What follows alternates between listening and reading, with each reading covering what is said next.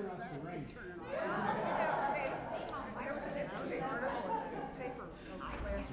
Fifteen feet.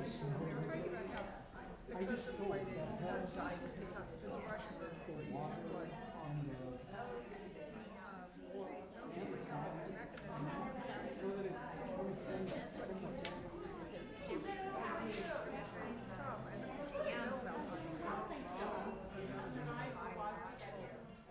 We forgot our name tags again. Where are the apples? I'm not a realtor, we're in the NPR. Morning, David. All right. Well, good morning, everyone. How are you all? Nice to see you. Thank you for uh, coming out in all the wet weather that we have today. Really appreciate that. Um, and thank you to Neale for starting us on our second set of lectures here.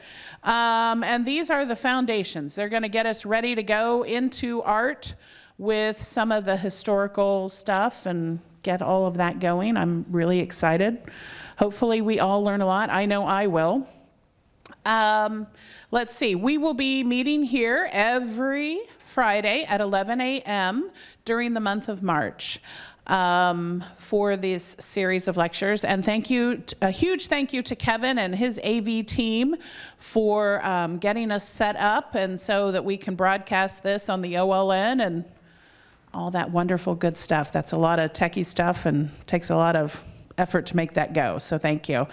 Um, so I'm going to introduce Neale.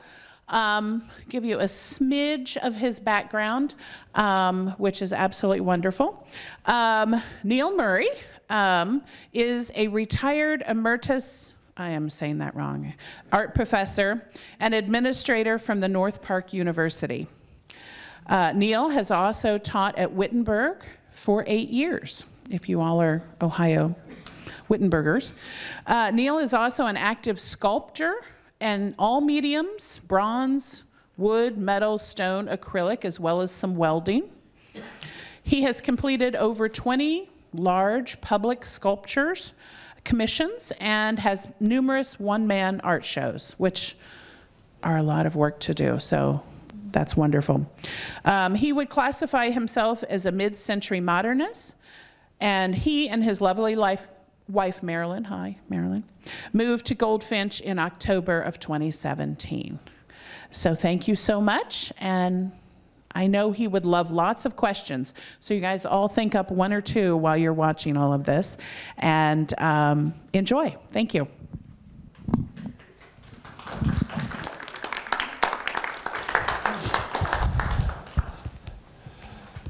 Well, thank you all for coming. Frankly, I expected maybe four or five seats occupied in this room given the weather, but uh, I appreciate you noble, hearty few that uh, made it today. Um, today is a, a, really important day. It, uh, I'm calling it Foundations because the, the whole series of lectures we're doing this spring, the five lectures, really are the beginning of the Western tradition in art. We're going, you're going to start to see the kind of art you're quite familiar with. And um, the foundations of that tradition we're going to touch on today. We're going to touch on Greece and we're going to touch on Italy. In fact, though, these early cultures were kind of overrun by the later Greek and Roman cultures. So, in fact, although they're the foundation of the things we're going to see later this spring, I'm showing you fewer works from each of them, and I'm combining them both in this first lecture uh, because there are simpler, simply fewer objects to look at. And they will help you get a contrast between Greek and Roman art. Superficially, the average person finds them to be looking rather similar. But in fact, they start from a very different base, and the assumptions, the attitudes, the expressiveness, expressiveness of those works really start here. Now, let me give you uh, another little insight to where we're going today. Much of the art I'm going to show you, because it's very early, will look rather primitive to you. But I should let you know the my own prejudice and the prejudice of many artists and art historians. Most of us favor these very early traditions because the basic idea, the basic energy for a culture starts here. Now, for the average layperson, it's much easier to judge technical quality in art than it is to judge the general virtue or importance of a tradition. But the important traditions start here.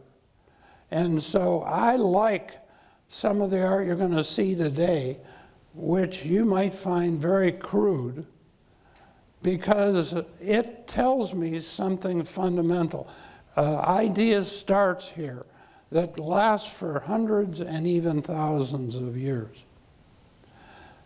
You'll find the same thing when we get to the Renaissance next year. Giotto is a guy who starts it all, but when you look at Giotto's paintings and compare them to Leonardo's or Michelangelo's or Raphael's, they look crude, they look primitive. But the germ of the idea is there, the energy is there. And that's what you're going to see today. You're going to see rather primitive beginnings, but don't underestimate them just because they look a little crude and a little primitive. Okay, let's, um, let's get started here. We're going to start, I'm showing you these two cultures together because chronologically they overlap each other significantly. They're close to each other. They rely on each other. And so, in some ways, they, uh, they belong together. The first object we're looking at, we're starting with Greek. And the first object we're looking at is called the Dipylon vase. Um, it's a big object. It's about as big as the image you see on the screen. It's 40 inches high. And it's from a Greek cemetery. And the way they did vases like this as funeral markers.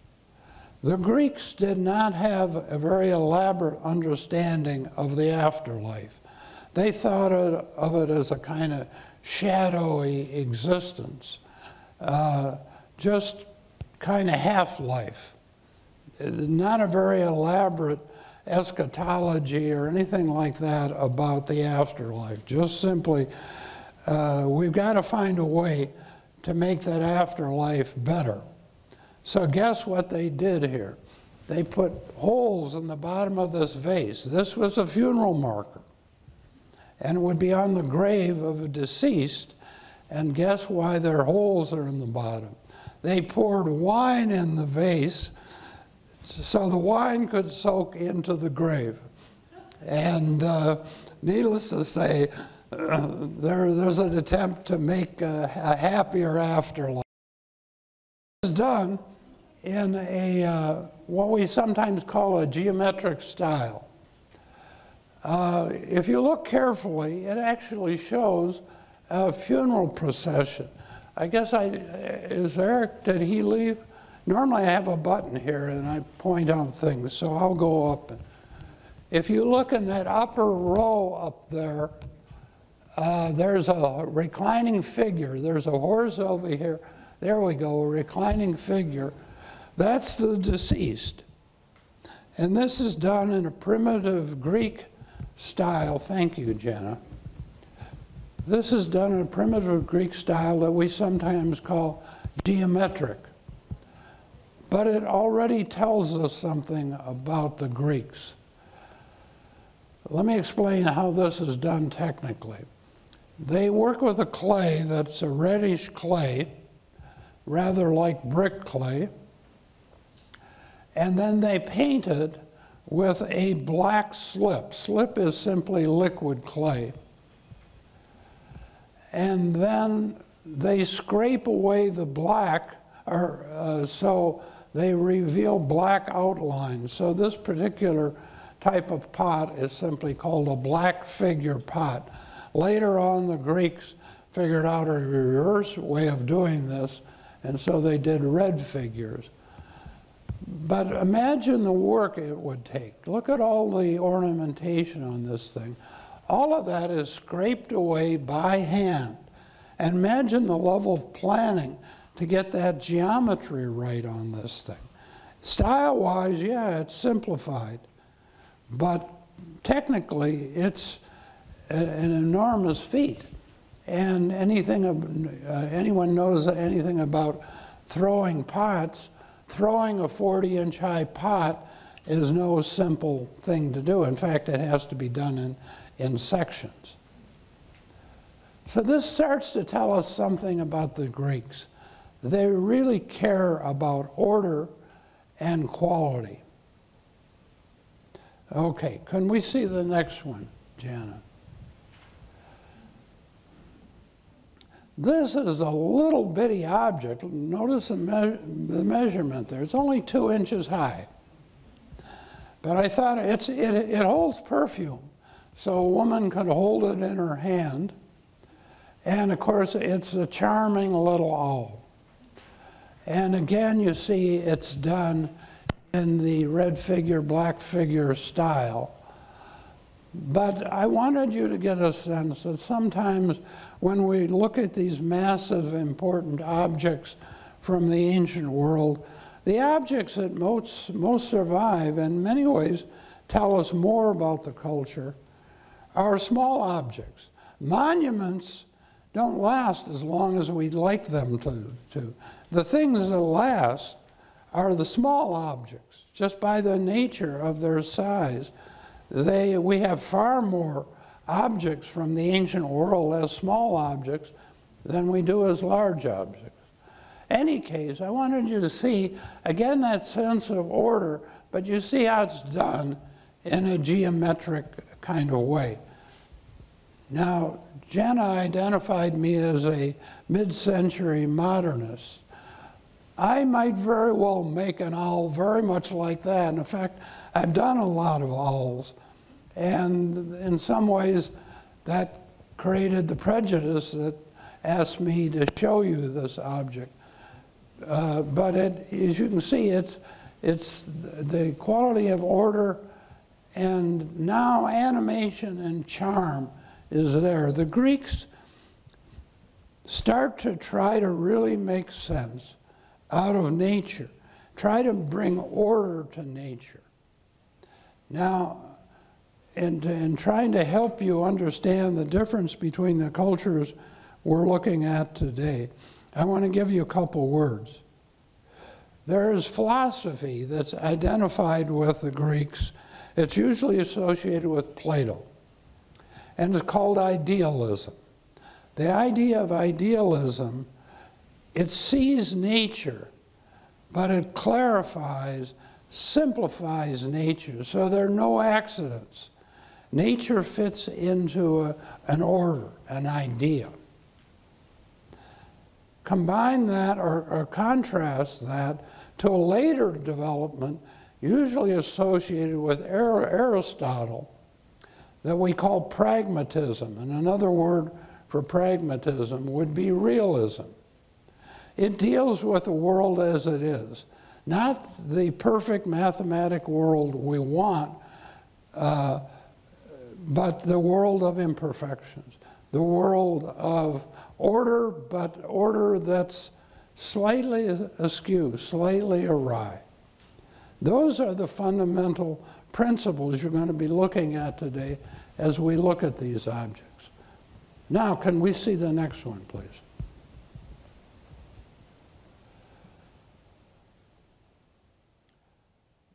The Greeks were the first people who started to pay attention to artists in the sense they actually learned artist names. And so I can tell you who made this object. It's uh, done by a guy named Exekias. And I'm showing you this particular object because it shows us the interaction between these uh, two cultures we're going to be looking at today. Dionysus was captured by some Etruscan pilots. The Etruscans are the other culture we're going to look at today. He was captured by these Etruscan pirates. And being Dionysus, of course, they probably captured him because he's got a wine. And uh, any good Italians want lots of wine, so they had Dionysus. Well, guess what? Dionysus started his grapes to grow on the mast of the ship. And this so frightened the Etruscan sailors, there were seven of them, by the way, that they jumped off the boat and they were turned into dolphins. So you see, it's done in the black figure style with the sail being a white slip. And the shape of this object, you can't fully understand it. When you look at it from this view, it looks like a big bowl to you. It's not, it's a calyx. Calyx is a cup that the Greeks drank from, maybe eight, ten inches across, a large, shallow cup and on a kind of uh, pedestal. So we're looking right down on it. The reason the handle's there is to hold it while they, they drink.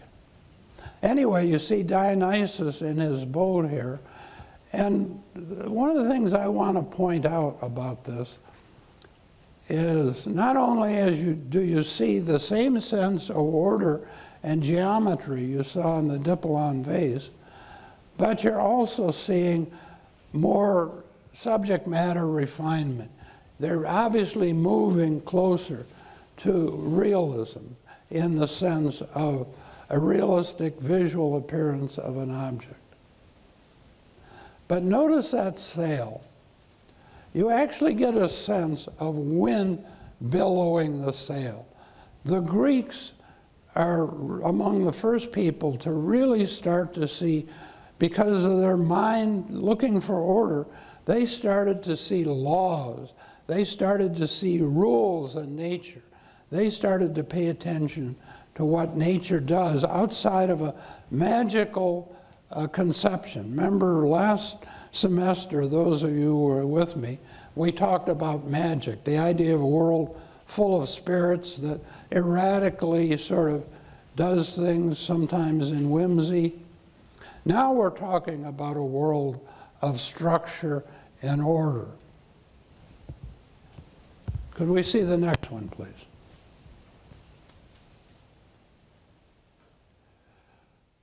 I'm going to show you two uh, Greek figures, a female figure and a male figure. This is the uh, female figure. She's uh, 24 and a half inches high, and I think she's carved in limestone.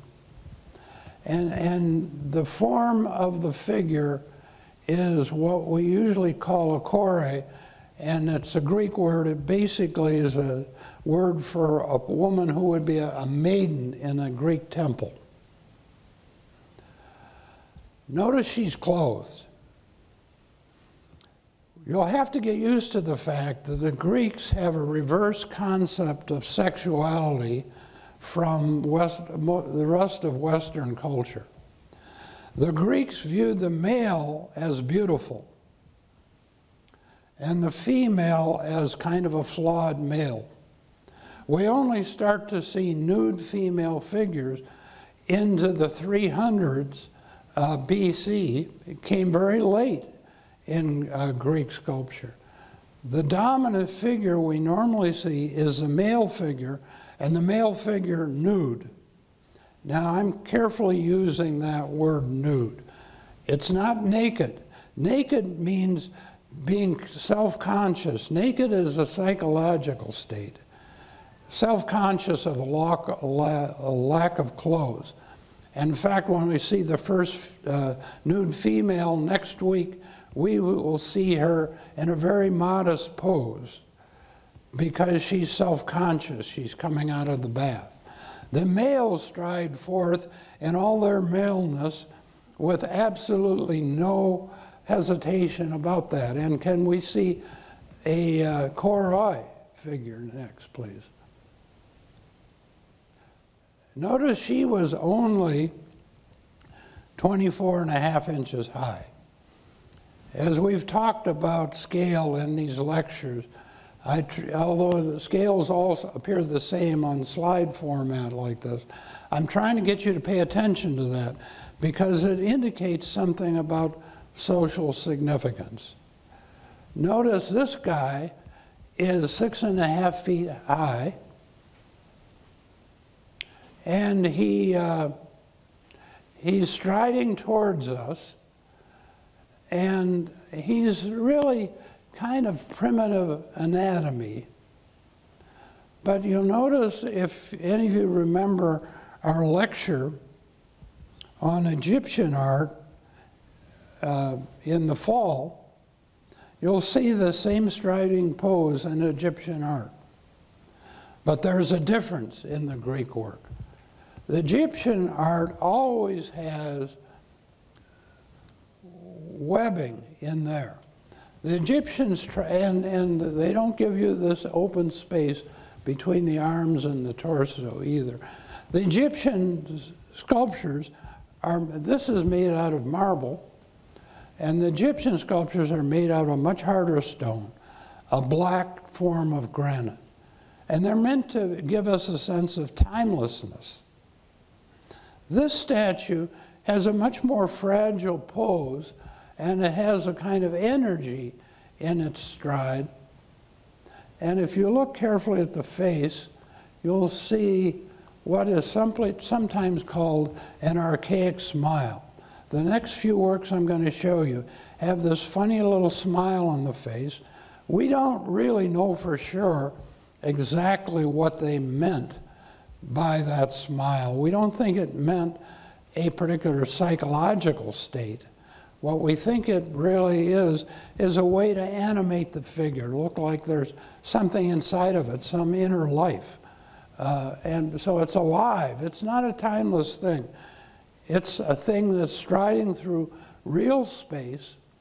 And of course, there's a primitive attempt at anatomy here, but uh, it's, it's, it doesn't match what you'll see later on in this course. And I'm going to show you a next one, which, which is, can I have the next one, please? This is more re, uh, a newer piece, and you'll notice the figure now has much more complex anatomical structure. They're much more aware of the body here, but it's still doing this striding kind of pose. It still has the archaic smile, it's really kind of a fixed, fixed pose. Eventually, that's going to uh, modify significantly. But uh, right now, you notice how the shoulders have a square axis and the hips have a square axis. So they don't really fully understand. They understand the shape of muscles. But right here, they don't understand how muscles work. Muscles work. I used to teach figure drawing, by the way. So I used to teach anatomy in a figure drawing class. And one of the things I try to help the students understand is how muscles work. They work in general opposition. Usually, for instance, when my biceps tighten up, the bottom of my arm gets all flabby flabby because that muscle is relaxed. So muscles, if they tighten on one side, they get soft on the other. And so it's a dynamics, complex set of relationships. They don't fully understand that yet. But you see how they're getting much closer to that understanding if you compare this figure to the last one. Can we see data? Now you see how the female figure has also uh, become much more sophisticated here. This is a broken figure. It actually comes from a, uh, a pit along the edge of the Greek Acropolis. The Greeks were constantly at war with the Persians. And the Persians came into Greece in an earlier period of, period of time, and they, they uh, totally overran Athens. What you did in the ancient world, if you conquered a society, the first thing you do is destroy the temple structures. You destroy the religion because that takes away their sense of meaning. Then you take their clothes away because that, that establishes their sense of identity. So they, the Greeks always use, the Athenians always use the Acropolis for their sacred buildings. And this particular Kore was one of the temple maidens in the Acropolis. The Persians destroyed the whole thing. And so these, this thing was lying on the ground as a piece of rubble. When the Greeks came along to rebuild the Acropolis, and you'll see that rebuilt Acropolis next week.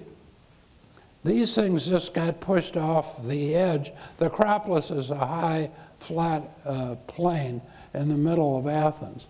One of the reasons I wanted to show you this, you see how much more sophisticated this figure is in terms of the carving. Because it was buried in this pile of rubble, it still retains its paint. And I wanted you to see that because most of us see Greek work in the Greek and Roman work typically in these pure white things. In fact, these things were generally painted. This is another attempt at their sense of lifelikeness. So they would paint it to, to look like life. This figure, of course, retains some of her paint. Can we see the next one, please? Okay, now we're going to start to talk about the Romans. But in fact, we don't call them Romans. We're calling them Etruscans. If any of you have been, tus- been to Tuscany, Marilyn and I lived in Tuscany a couple, for a couple, couple different occasions when I taught art history and drawing in Florence. The name of Tuscany comes from the word Etruscan, and the Etruscans sort of lived along the west side of Italy, no further south than Naples, and not far north like Turin, more, more in the area between Florence and, uh, and uh, Naples or Rome. And Rome, of course, is roughly in the center of that area. And so it, the Romans eventually took over Etruscan uh, culture. But you'll notice the dates we're looking at here are overlapping the Greek dates. But what you're going to see is, even though they're at the same time, these cultures talk to each other, they travel among themselves. They're uh, Greek uh, city states on uh, the Italian peninsula. So they interact, but they're different in, in a fundamental way, and that's going to shape the whole direction of Western art. Can we see the first example here?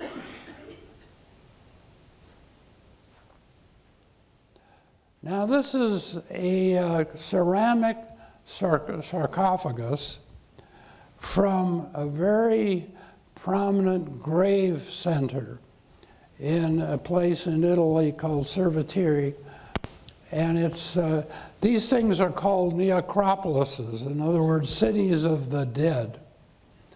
And the Etruscans buried their dead in these large areas. And in a, a moment or two, you're going to see the tomb in which this couple actually resided. This is actually made out of terracotta, in other words, a fired uh, brick clay. And I wanted, I wanted you to get a sense of this subject matter. This is a tradition started by the Etruscans that is persistent throughout Roman culture. The idea of a loving, caring couple. We have all seen way too many Hollywood epics about Roman uh, misbehavior. And we forget the fact you don't build an empire, the first major empire in the world, for several hundred years on uh, fun and circuses. You build an empire on stable family values.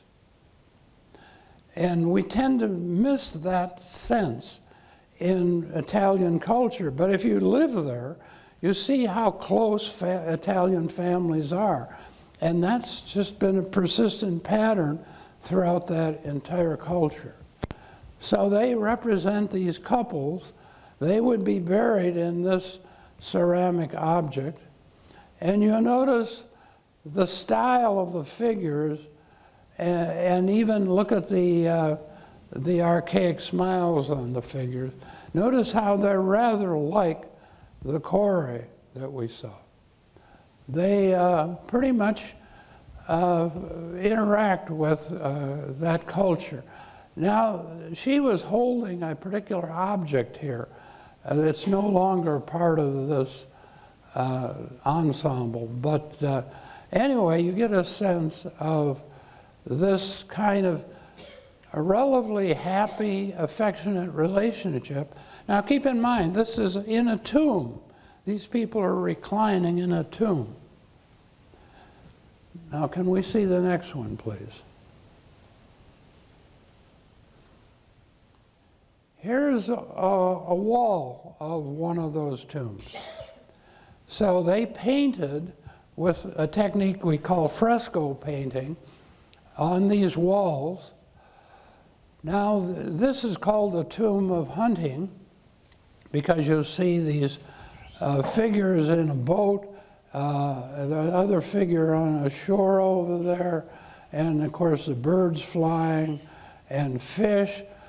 And uh, if you look at the top uh, panel up there in the pediment, you see another ensemble of, of figures, some of them dancing. This is not a dark, difficult idea of the afterlife. Now, keep in mind, these cultures are seeing each other. Remember, we saw Minoan work last time, those of you who were with me, there, and you see the influence of the Minoans here. Anyway, imagine this couple in a space like this. Now, the other thing I want to help you understand here is the reason you get these big rooms, almost like homes, in these necropolises is because of the peculiar character of the soil in Middle Italy. It's a type of soil that we call tufa, T-U-F-A. Tufa is a volcanic material. It's a strange kind of material. It's, it's gray, has a kind of consistency of clay, so it can be dug into. But after it's dug into and exposed to air, it hardens up and becomes a rock. So, for instance, the Roman catacombs are all dug out of, out of tufa. So, all they did is dig this thing out. They didn't build it, they dug it out, then they plastered the walls over the tufa, and then they did their fresco painting on that wall. Can we see the next one, please?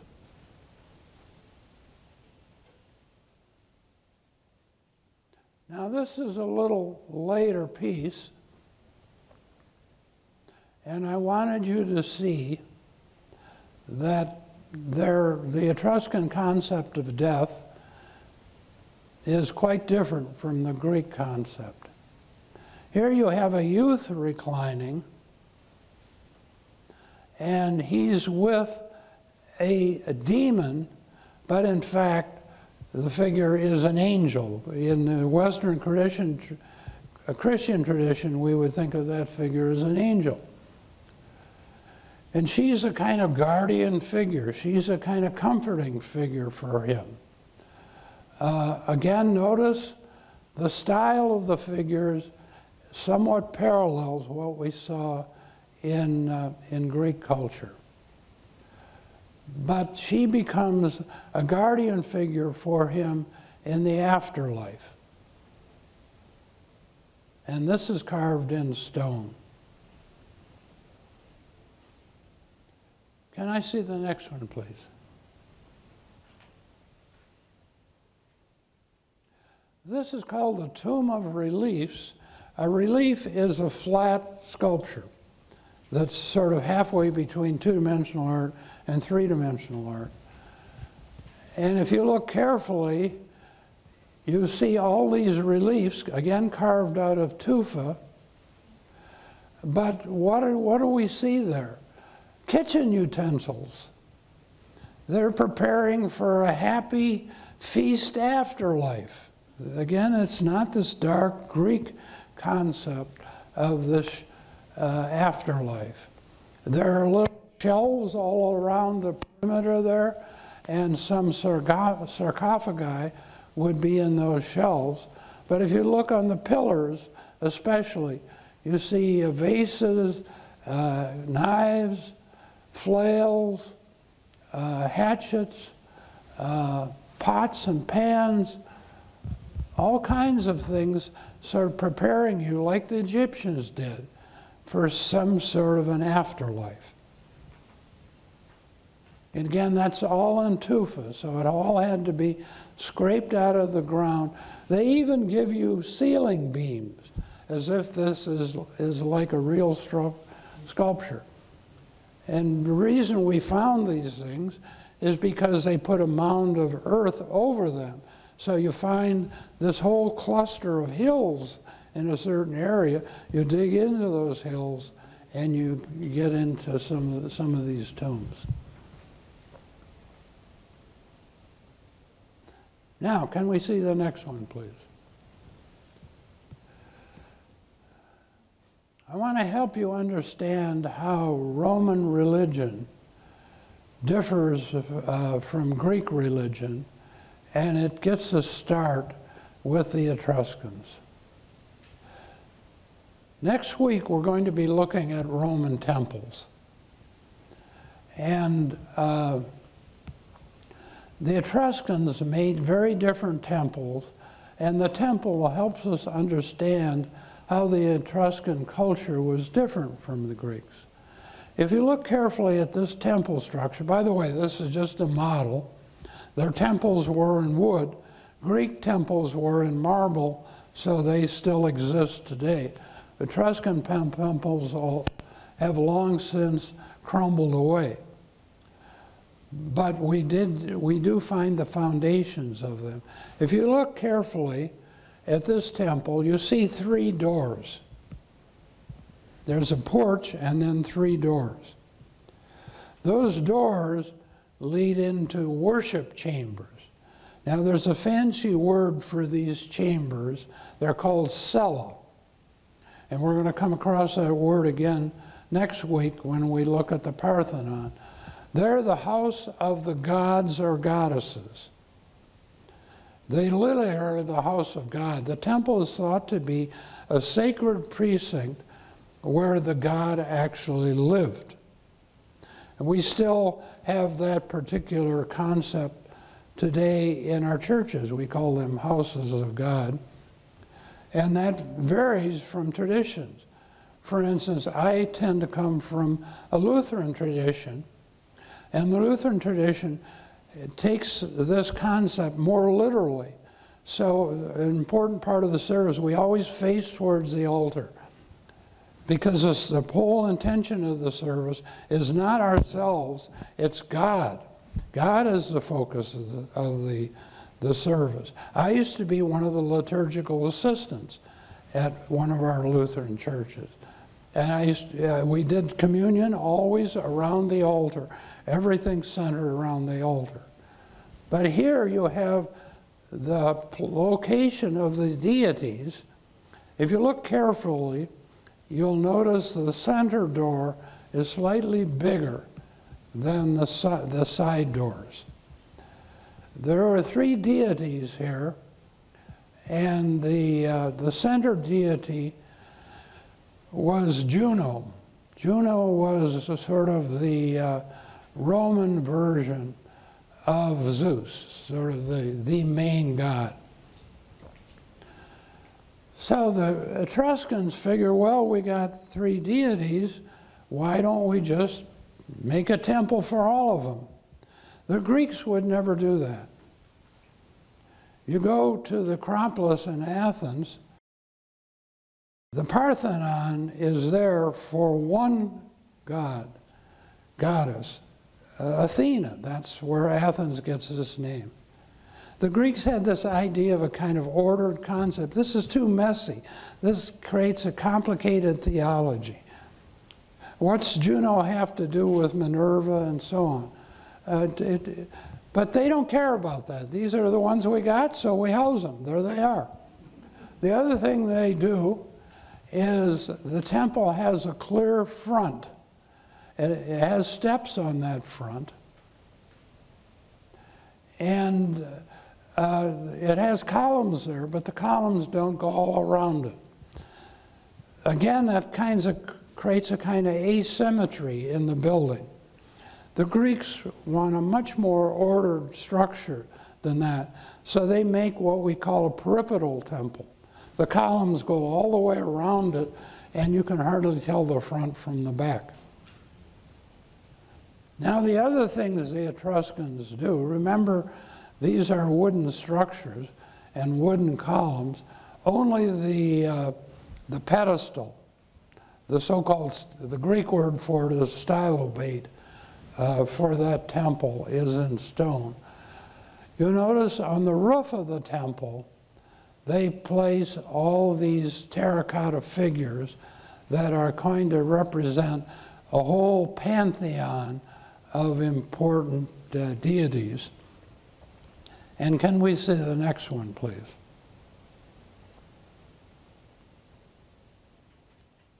This is an Apollo in terracotta that came from the top of one of those temples.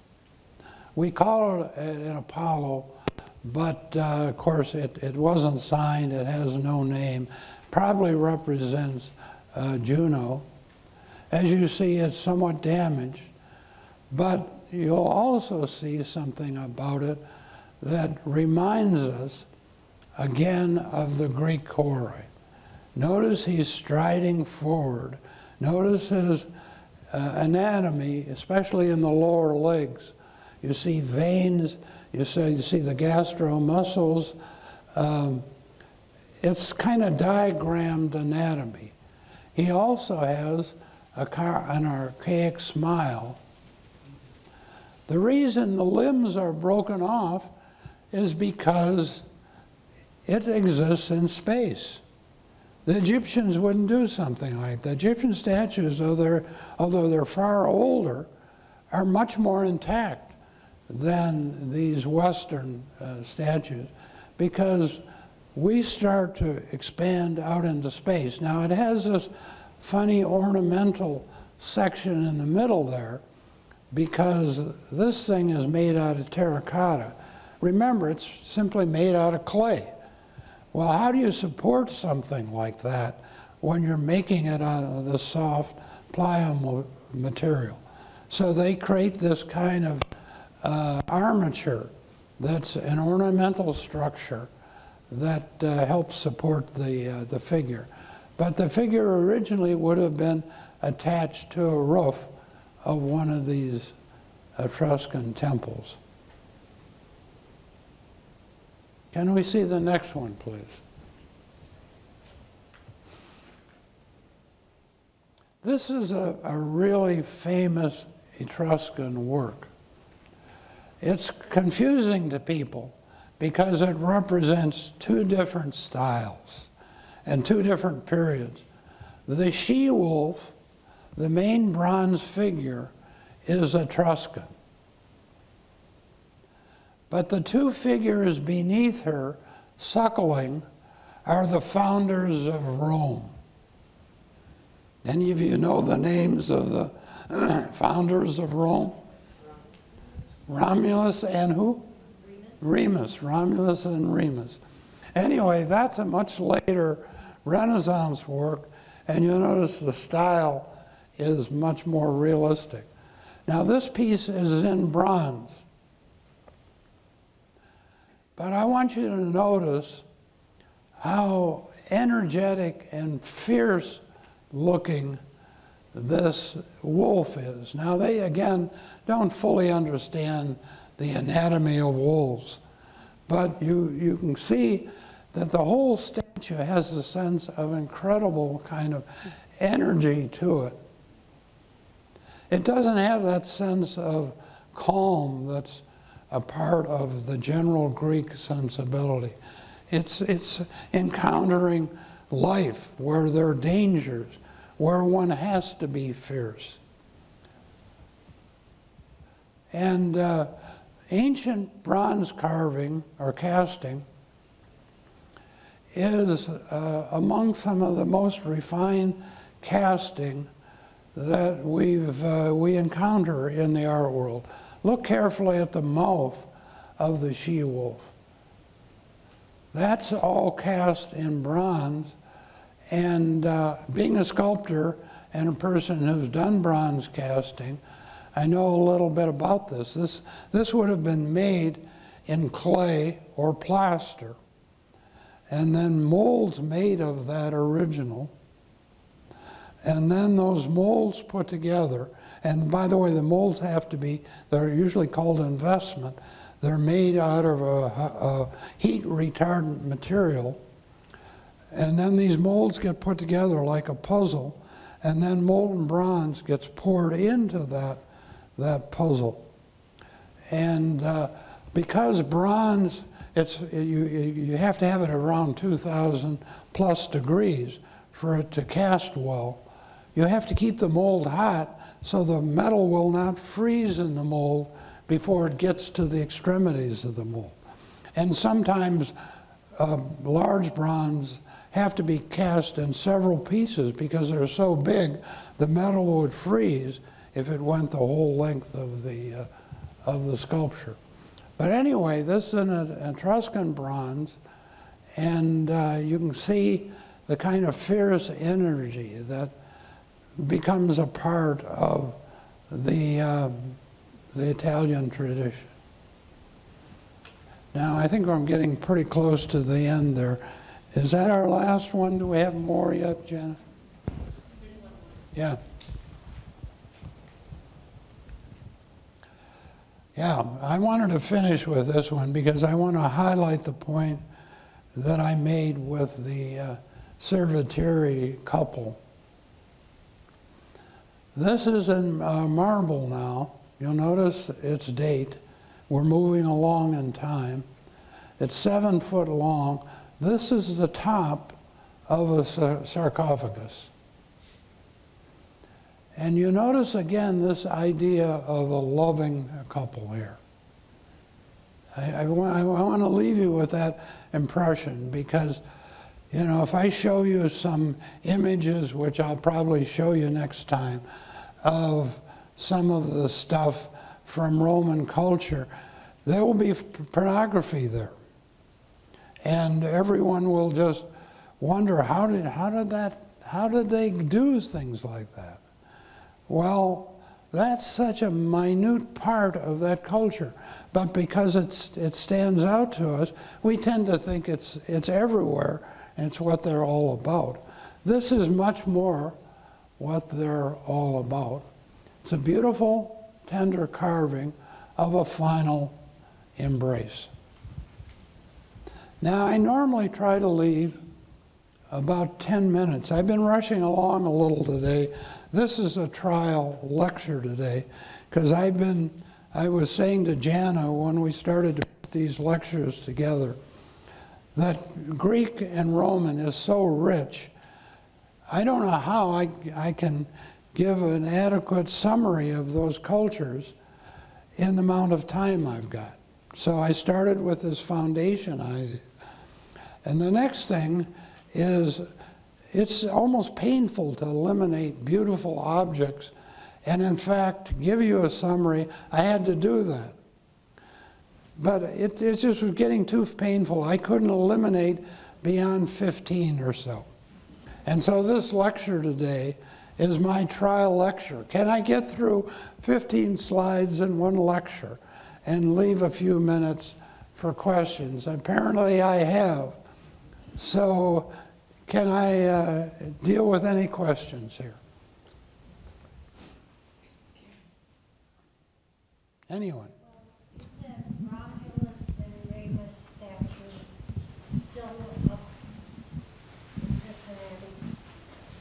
There, there was a replica. There, I'm going to say bronzes, because it's a casting technique, there can be multiple bronzes. That particular uh, she-wolf I showed you is in the Vatican Museum in Rome. But downtown Florence, in one of the markets, in the front of that market, we had the same statue as well. Uh, recast from, from the original. So there are multiples. By the way, the way you can tell the difference between an original bronze and a uh, cast, a, a series cast, is the series piece will be slightly smaller.